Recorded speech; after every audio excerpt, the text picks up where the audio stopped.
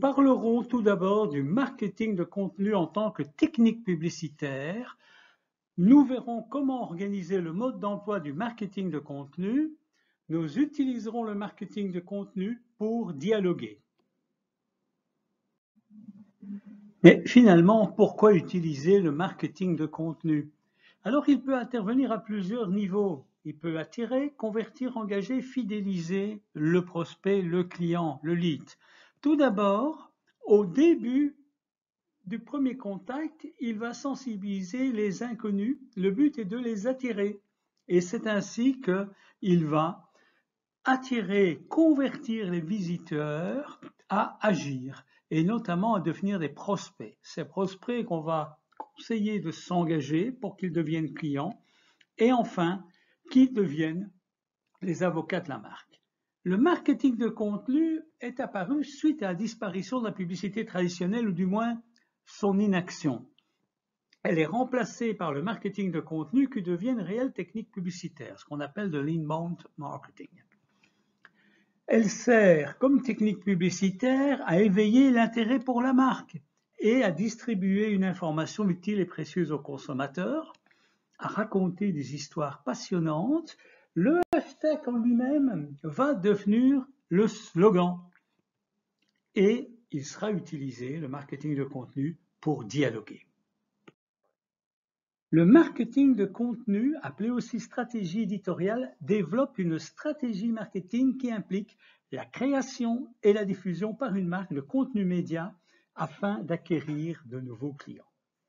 Cette stratégie consiste à créer, proposer, distribuer et encourager la large diffusion d'une thématique intéressante, pertinente et utile à un public clairement défini afin de créer des conversations sur celle-ci. Cette approche est également perçue comme une autre forme de journalisme de marque et d'édition de marque qui crée des liens plus profonds entre les marques. Les marques qui développent un marketing de contenu permettent aux clients d'accéder à des contenus originaux, de haute qualité, tout en racontant des histoires intéressantes sur leur marque, de manière à motiver la communauté de leurs clients ou de leurs fans. Le marketing de contenu transforme le rôle des marketeurs d'un statut de vendeur à celui de rédacteur. C'est vrai que c'est devenu un mot à la mode ces dernières années et le marketing de contenu est maintenant perçu comme le futur de la publicité dans l'économie digitale. La transparence liée à l'Internet a favorisé la naissance du marketing de contenu. D'autant que pour accéder à ce contenu original, on va utiliser la connectivité qui permet aux clients de communiquer et de découvrir la vérité sur les marques. Et donc le rôle du marketing de contenu sera à la fois de produire des contenus et d'assurer la distribution du dit contenu.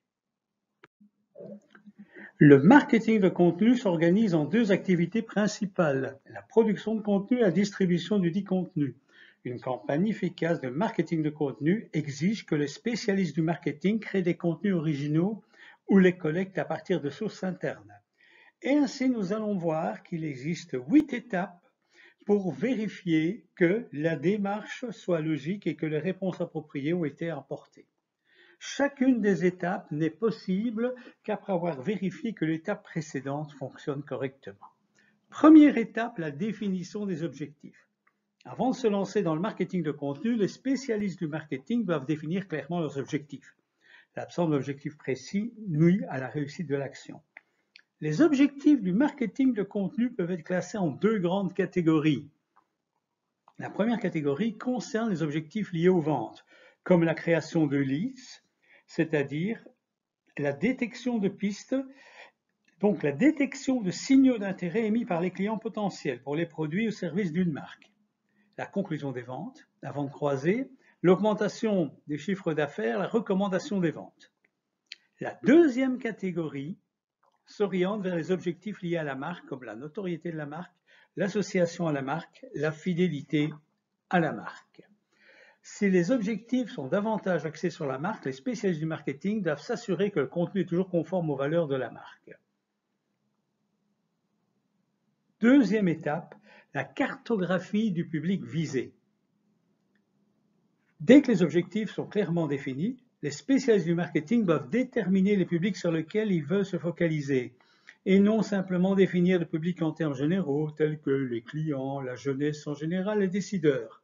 Il faut définir un sous-ensemble spécifique de consommateurs, comme par exemple une sous-culture, c'est-à-dire un groupe social qui partage des valeurs, des normes, des comportements communs, ça va aider à créer des contenus plus pertinents et plus pointus qui déclinent l'histoire de la marque. Alors, bien sûr, on va utiliser les caractéristiques de la sédimentation traditionnelle, des critères géographiques, démographiques, psychographiques et comportementaux. Généralement, en analyse de contenu, on va utiliser les critères comportementaux. On va ainsi, grâce à ces critères, déterminer les membres des sous-cultures qui sont attirés par des thèmes niveaux et non traditionnels. Et parmi ceux-ci, les spécialistes du marketing vont trouver des idées de contenu original en les observant. En plus, ils vont rechercher les activistes de la sous-culture, c'est-à-dire les influenceurs qui aident à influencer le contenu, qui aident à amplifier le contenu les activistes peuvent prendre des visages très différents. Comme les consommateurs d'aujourd'hui ont besoin d'être de plus en plus souvent représentés, les marques jouent à fond la forme de l'inclusivité. Et après avoir identifié le public concerné, il s'agit de le profiler en décrivant les individus, ce qui permet d'imaginer à quoi le public ressemble dans la vie de tous les jours. Troisième étape, la création de contenu et l'élaboration du planning de diffusion. L'étape suivante consiste à trouver des idées sur le contenu à créer et effectuer une planification adéquate. Une campagne de marketing de contenu réussie combine des thèmes pertinents, des formats adaptés et des récits porteurs de sens. Pour trouver un thème signifiant, les spécialistes du marketing doivent tenir compte de deux éléments. D'abord, le contenu lui-même doit être signifiant pour le consommateur. Effectivement, avec la multitude d'informations disponibles, le contenu doit être porteur de sens afin d'éviter d'être ignoré ou rejeté. Il doit soulager les peurs du consommateur et aider à réaliser le désir. Ensuite, le contenu doit se traduire en histoire qui reflète les codes de la marque. Cela signifie que le contenu doit servir de lien entre la marque et les angoisses et désirs des consommateurs. Ce contenu peut devenir le moyen pour les marques de faire une différence et de laisser un souvenir indélébile, l'objectif ultime du marketing. Le spécialiste du marketing doit se focaliser sur les missions de la marque, ce qu'elle représente au-delà des propositions de valeur. Mais les formats méritent aussi une attention particulière. Le contenu peut être présenté sous forme écrite, communiqué de presse, des articles, des bulletins, des livres blancs, des études de cas et même des livres. Le contenu peut aussi avoir une forme plus visuelle, infographie, bande dessinée, graphique interactif, diapositives de présentation, jeux vidéo, films courts et même des longs métrages. Quoi qu'il en soit, il faut être attentif. Il faut aussi analyser le récit narratif qui sera développé. Le marketing de contenu comprend un ensemble d'épisodes, des morceaux d'histoire qui déclinent le récit global. S'il est vrai que le marketing de contenu est plus efficace au début du parcours client, en particulier dans la construction de l'intérêt de la marque, le contenu doit être réparti sur l'ensemble des parcours clients. Quatrième étape, la rédaction du contenu la création de contenu constitue une étape essentielle, cela va de soi. Les spécialistes du marketing de contenu savent que la création de contenu exige des concepteurs motivés et patients. Ça demande un engagement énorme en termes de temps et de budget. Et si le contenu n'est pas de qualité, original et riche, une campagne de marketing de contenu devient une perte de temps. La création de contenu peut en effet être une activité distincte par elle-même, elle exige des spécialistes du marketing qui agissent comme des éditeurs disposant d'écrivains expérimentés. D'ailleurs, les producteurs internes de contenu doivent respecter des normes d'intégrité et de déontologie journalistique élevées. La création de contenu est aussi une histoire sans fin. C'est un processus continu qui exige de la cohérence.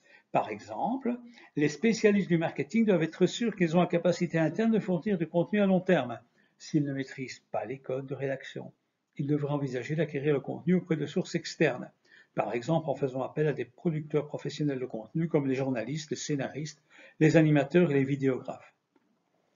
Il existe bien sûr une autre alternative qui consiste à parrainer le contenu produit par des sources externes. Pourquoi pas? Liker et partager des vidéos ne s'apparente jamais à un acte militant et pourtant, cela contribue à faire voyager un message de la marque. Toutefois, l'utilisation de vidéos mérite une constante attention vu l'apparition de l'intelligence artificielle dans les trucages. Les fausses vidéos truquées n'hésitent pas à modifier la voix et le visage originaux pour manipuler le consommateur ou dénigrer la marque.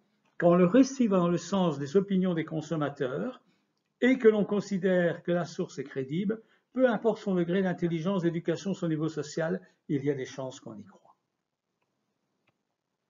Cinquième étape, la distribution du contenu. Le contenu est créé, il est validé. C'est une condition nécessaire pour sa haute qualité, mais il faut atteindre le public visé. Si le marketing est né à l'ère numérique, contrairement à la croyance populaire, il n'utilise pas toujours pour sa diffusion en médias numériques. Certains formats de contenu canaux de distribution ne sont pas numériques. Par exemple, le marketing de contenu non numérique est relativement important. Alors on peut utiliser en fait trois grandes catégories de canaux médiatiques pour diffuser du contenu. Les médias détenus, qui appartiennent à la chaîne, qui se composent d'actifs de la chaîne, que la chaîne contrôle entièrement. Les médias possédés comprennent les publications entreprises, les événements organisés par entreprises, les sites web, les blogs, les communautés, etc., etc. Et puis, il y a les médias payés. Alors, les médias payés par une marque constituent d'autres canaux de distribution de contenu. Ce sont les médias publicitaires traditionnels, comme les médias électroniques, les médias imprimés, les médias externes, ainsi que les médias numériques. Une marque paye généralement en fonction du nombre d'impressions ou du nombre d'actions, le nombre de fois que le public a réagi par une action. Enfin, troisième type de médias, les médias gagnés par une marque.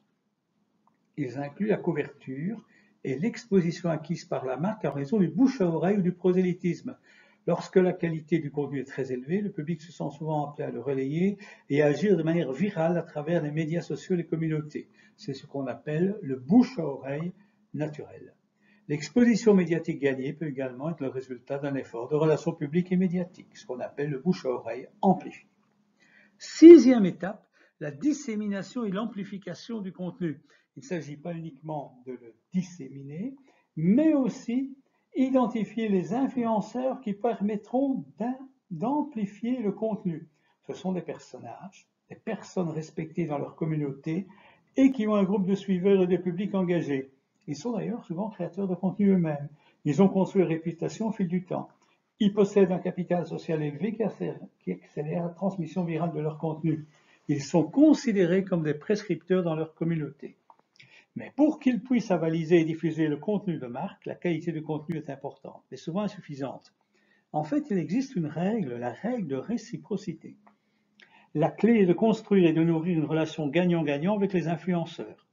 Les spécialistes du marketing doivent s'assurer qu'ils trouvent la marque utile pour améliorer leur réputation lorsqu'ils diffusent le contenu. Certains investisseurs se sont également désireux d'élargir leur portée et la marque peut les aider en leur donnant accès à une audience plus large. Septième étape, l'évaluation du marketing de contenu. Il est important de disposer d'indicateurs de performance stratégique de manière à valider, à voir si les objectifs prévus lors de la première étape sont atteints ou pas. Mais les spécialistes du marketing doivent également évaluer les principaux indicateurs du marketing de contenu à chacune des étapes du parcours client, les fameux 5A. Alors on peut développer des mesures d'exposition, comment le contenu attire l'attention, des mesures de visibilité pour mesurer la portée la sensibilisation. On peut aussi avoir des mesures d'activité, un point relativement important, ou encore mesurer les achats. Par exemple, le ratio entre le nombre d'achats, le nombre d'impressions et le taux de participation.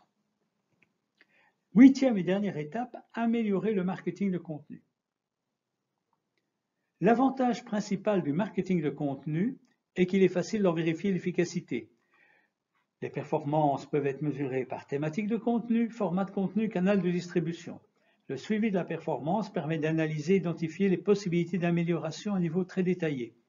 Les spécialistes du marketing de contenu peuvent aussi facilement expérimenter de nouvelles thématiques, formats et canaux de distribution. Mais comme le marketing de contenu évolue rapidement, des améliorations régulières sont essentielles. Cependant, des changements trop fréquents peuvent être préjudiciables car le marketing de contenu exige du temps pour garantir la persistance et la cohérence de sa mise en œuvre.